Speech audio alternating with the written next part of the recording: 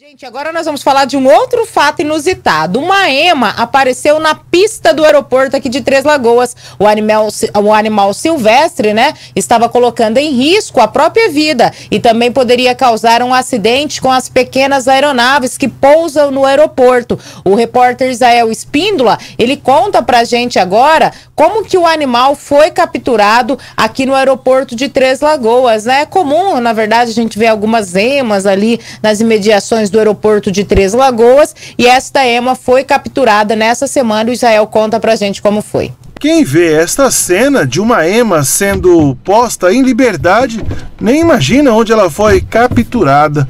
O animal silvestre é da espécie réia americana, ema, e foi capturada no último domingo dentro do aeroporto de Três Lagoas.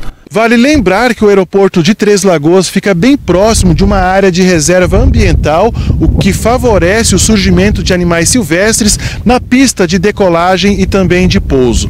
A EMA foi capturada no último domingo, depois que os funcionários do aeroporto acionaram a Polícia Militar Ambiental.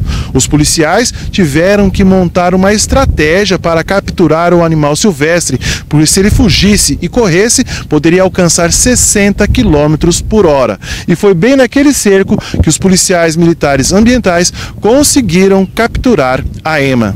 Depois do passeio, a Ema foi cercada no alambrado, entrou na caixa, foi salva e devolvida para seu habitat natural.